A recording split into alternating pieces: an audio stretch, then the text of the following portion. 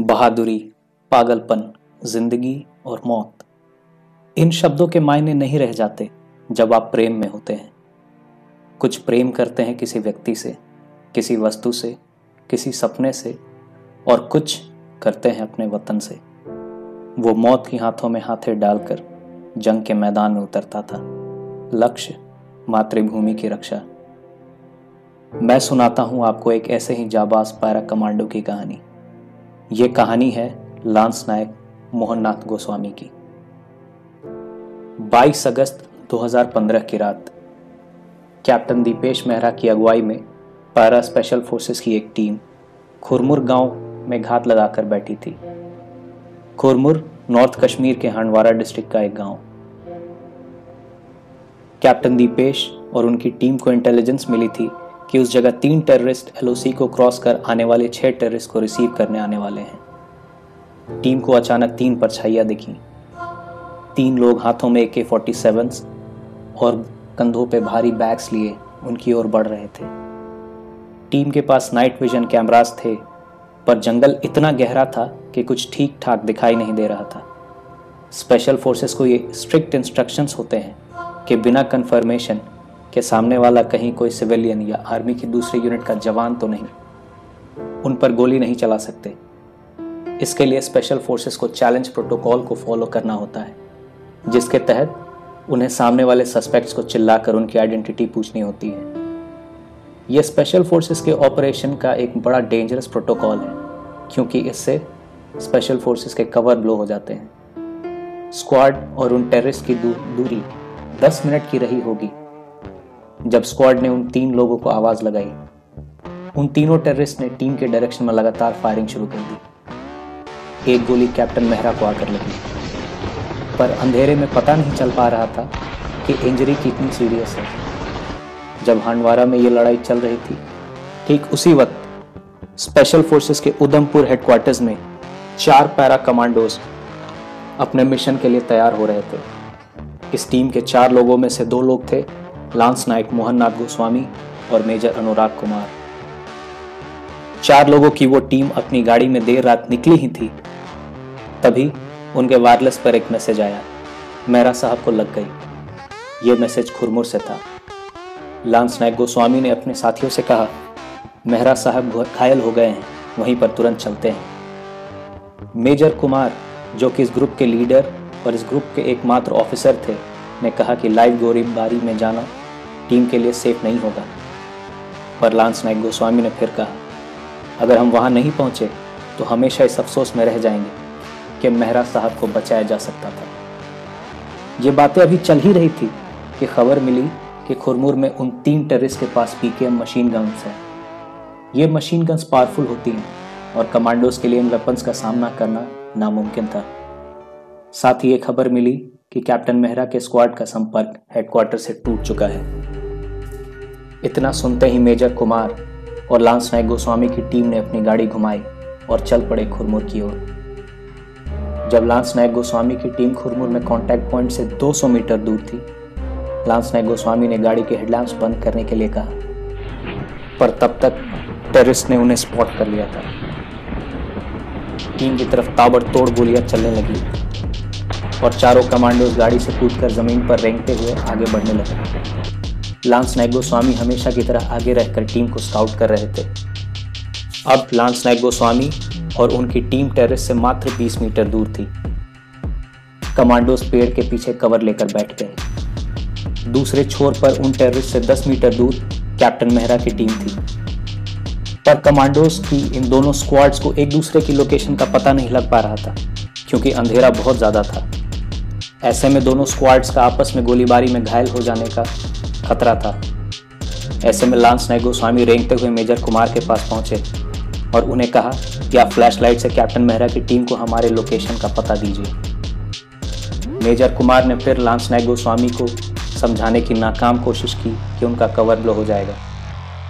Lance Naik Goswami ने कहा कि पेड़ हमें गोलियों से बचाएगा, आप फ्लैश ब्लिंक करो। जैसे ही फ्लैश जलाया गया टेररिस्ट ने उन पर मशीन गन से हैवी फायरिंग शुरू कर दी। टेररिस्ट और लांस नायक गोस्वामी की टीम में डायरेक्ट फायरिंग शुरू हो गई। इसी बीच गोस्वामी ने एक टेररिस्ट को मार गिराया। अब तक कैप्टन मेहरा की टीम भी दूसरी तरफ़ से लांस नायक गोस्वामी की टीम तक पहुँच चुकी थी। लांस नायक गोस्वामी कैप्टन मेहरा को अपने कंधे के सहारे उस एरिया से बाहर निकाल कर ले गए। तब तक बाकी दो टेररिस्ट भी मारे जा चुके थे। इस तरह इस मिशन का खात्मा हुआ। बच्चन साहब की एक बड़ी फ़ेमस मूवी है, मुकद्दर का सिकंदर। उस मूवी का फ़ेमस टाइटल सॉन्ग है, ज़िंदगी तो बेवफा है, एक दिन ठुकराएगी। मौत महबूबा है, अपने संग लेकर जाएगी। कुछ ऐसा ही अंदाज था जीने में लांस नायक मोहन नाथ गोस्वामी का। हमेशा एक्शन के लिए तैयार, अपने टीममेट्स की ढाल, और हमेशा सबसे आगे बढ़कर टीम के लिए स्काउट बनना, ये उनकी आदतों में शुमार था। जब भी उनसे कहा जाता कि आप नए रिक्रूट्स को मौका दें आगे बढ़कर स्काउटिंग का, वो कहते, आपको मुझसे बेहतर कोई मिल जाएगा। आप बेशक उसको स्काउट बना देना। जब वो कोई ऑपरेशन में नहीं होते तो कंट्रोल रूम में बैठकर आने जाने वाले रेडियो मैसेजेस को सुना करते थे। मानो अगले काउंटर इंसर्जेंसी ऑपरेशन का मौका तलाश रहे। अभी पिछले ऑपरेशन को खत्म हुए दो दिन ही हुए थे कि अगले ऑपरेशन की घंटी बज गई। तारीख 26 अगस्त। पाँच पाकिस्तानी टेररिस्ट पूरी सेक्टर से एलओसी क्रॉस कर इंडियन टेरिटरी में दाखिल हुए। पूरी सेक्टर किसी भी इंसान के लिए सबसे मुश्किल रास्तों में से है और यहाँ छुपने के लिए भी पर्याप्त जगह है। पाँच टेरेस शमशाबरी रेंज काला पहाड़ माउंटेन्स काजी नाग धर के बर्फीले पहाड़ों को क्रॉस कर कश्मीर की घाटियों में घुसे। घुसते ही इनका सामना इंडियन आर्मी की 35 राष्ट्रीय राइफल से हो गया, जिसमें एक टेरिस की मौत हो गई। बाकी चार टेरिस पहाड़ियों और जंगलों का सहारा लेकर भाग निकलने में कामयाब रहे।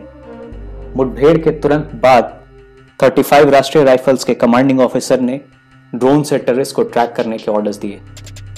मार्क टू ड्रोन रात भर उन टेरिस को ट्रैक करती रही और फाइनली बारामूला की तरफ़ जाते हुए उन्हें देखा गया। बारामूला के पास पथरीले चट्टानों से निकलते हुए उन चारों टेररिस्ट ने वहाँ मौजूद गुफाओं में अपना कमांडोज अपनी पोजीशन में बैठे हुए थे, पर टेररिस्ट का कोई अता पता नहीं था। तभी टीम ने यह डिसाइड किया कि टेररिस्ट को यह संदेश देना ज़रूरी है कि वो घिर गए हैं और बाहर निकलने का कोई रास्ता नहीं बचा। दो रॉकेट प्रोपेल्ड ग्रेनेड्स गुफा में फायर किए गए।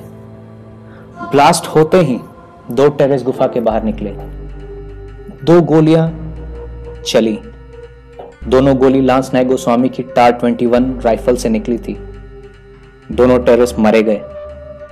जनरली ऐसे सिचुएशंस में कोई भी कमांडो लगातार कई गोलियाँ फायर करता है, ताकि टारगेट मिस होने का चांसेस ना हो। पर लांस नायक गोस्वामी को अपने स्किल्स पर इतना भरोसा था कि उनके लिए दो गोलियाँ मतलब दो टेररिस्ट अब अंदर गुफा में दो टेररिस्ट बचे थे। इंतज़ार करते करते सुबह हो गई। लांस नायक गोस्वामी की अगुवाई में चार लोगों की टीम गुफा के और करीब पहुँची। तभी बाकी तीन लोगों को लांस नायक गोस्वामी के बंदूक से गन शॉट सुनाई दिए। लांस नायक गोस्वामी को एक टेरेस की टांग दिखी और उन्होंने गोली चला दी। कुछ देर की लुक्का छुपी के बाद अचानक चीखते हुए गुफा में से एक टेरिस निकला। उसको भी तुरंत ही कमांडोज ने उसकी मंजिल पर पहुँचा दिया। अब सिर्फ़ एक ही टेरिस बच गया था। कुछ देर बाद, लांस नायक गोस्वामी फिर आगे बढ़कर गुफा के पास पहुँचे और आवाज़ लगाई भाईजान अभी भी मौका है, आप सरेंडर कर दो, बाहर निकल जाओ।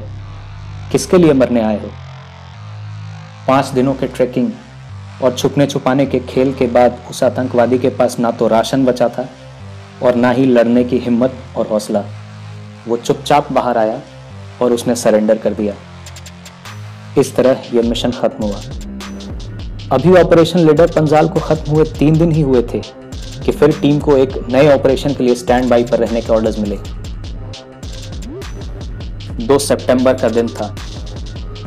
इस बार खबर यह थी कि छह घुसपैठिए बॉर्डर क्रॉस करके कुपवाड़ा के जंगलों से होते हुए इंडियन टेरिटरी में दाखिल हुए हैं। क्योंकि ये एरिया बड़ा था और विजिबिलिटी एकदम लो इस वजह से एक बड़ी टीम को टास्क में लगाया गया। 36 लोगों की एक कमांडो टीम कुपवाड़ा के जंगलों में दाखिल हुई। उन्हें यह तो खबर थी कि टेररिस्ट आएँगे, पर किस दिशा से आएँगे ये मालूम नहीं था। टीम टुकड़ियों में बटकर सर्च ऑपरेशन करने लगी। तभी जिस टुकड़ी में लांस नायक गोस्वामी थे ने अंधेरे में चार परछाइयाँ देखी। हमेशा की तरह लांस नायक गोस्वामी ने आगे बढ़कर उन्हें चैलेंज किया। उन्होंने ज़ोर से आवाज़ लगाई और पूछा, कौन है वहाँ? जवाब में ताबड़तोड़ गोलियाँ चलने लगी। हालाँकि थोड़ी देर बाद बारिश चालू हो गई और दोनों तरफ़ से बंदूकें शांत पड़ गई। तभी एक धमाका हुआ। टेररिस्ट ने ग्रेनेड लॉन्चर से टीम पर फायर किया था। ग्रेनेड के कुछ टुकड़े आकर तीन कमांडोज के चेहरे में घुस गए थे। लांस नायक गोस्वामी वहाँ से कुछ दूर घात लगाकर सब देख रहे थे। हमेशा से लांस नायक गोस्वामी के लिए टेररिस्ट को एलिमिनेट करने से एक और बड़ी चीज़ थी, अपने साथियों को बचाना। लांस नायक गोस्वामी और उनके बड़ी हवलदार महेंद्र सिंह दोनों घायल कमांडोज के पास पहुँचे, पर तुरंत ही दोनों पर हैवी फायरिंग शुरू हो गई। एक गोली हवलदार सिंह के पेट से होते हुए उनकी रीढ़ की हड्डी में जा फंसी और उनका लोअर बॉडी पैरालाइज हो गया। लांस नायक गोस्वामी जानते थे कि अगले कुछ सेकंड्स में उनके साथी को गोलियों से छल्ली कर दिया जाएगा। उसी सेकंड कवर फायर देते हुए लांस नायक गोस्वामी अपनी बंदूक से ताबड़तोड़ गोलियाँ चलाने लगे। इस गोलीबारी में दो गोलियाँ लांस नायक गोस्वामी के कमर में आ लगी। एक गोली उनके शरीर को चीरती हुई निकली तो दूसरी गोली उनके शरीर में आ फंसी। लांस नायक गोस्वामी को अधमरी हालत में देख टेररिस्ट उनकी तरफ़ बढ़ने लगे। ऐसी स्थिति में भी लांस नायक गोस्वामी अपने कवर से निकले और दोनों टेररिस्ट को मार गिराया। लांस नायक गोस्वामी का खून बहुत बह चुका था। उन्होंने रेंग कर अपने साथी तक पहुँचने की कोशिश तो की, मगर उनका शरीर थक चुका था। मौत से हर रोज आँख में चौनी खेलने वाला गोस्वामी आज थक कर मौत की गोद में सो गया। गोलीबारी के कम होते ही महेंद्र सिंह ने अपने कोहनियों पर रेंगते हुए लांस नायक गोस्वामी तक पहुँचने की कोशिश की। वो पहुँचे भी और उनकी बॉडी को खींचकर पेड़ की ओट में ले गए। महेंद्र सिंह रात भर लांस नायक गोस्वामी का हाथ पकड़ पल्स मिलने के इंतज़ार में बैठे रहे। महेंद्र सिंह को यह विश्वास नहीं हो रहा था कि स्पेशल फोर्सेस का सबसे जाबाज सिपाही आज गहरी नींद में सो चुका था। मरणोपरांत उन्हें अपनी वीरता और साहस के लिए सर्वोच्च शांतिकालीन सेना सेना सम्मान, अशोक चक्र से सम्मानित किया गया। आज़ादी। जिस आज़ादी को हम टेकन फॉर ग्रांटेड लेते हैं, उस आज़ादी को सियाचीन के माइनस दस डिग्री टेम्परेचर में बैठकर, बारामूला के पहाड़ियों में चुपकर कश्मीर के जंगलों में कोई लांस नायक गोस्वामी प्रोटेक्ट कर रहा है। ये कुछ ऐसे पागल हीरोज हैं, जिन्हें ना तो हम जानते हैं और शायद ना ही जान इनकी शान में मैं बस एक ही बात कहना चाहूँगा कि शहीदों की मज़ारों पर लगेंगे मेले हर वक्त बरस। वतन पर मिटने वालों का यही बाकी निशा होगा। On this note the story teller signing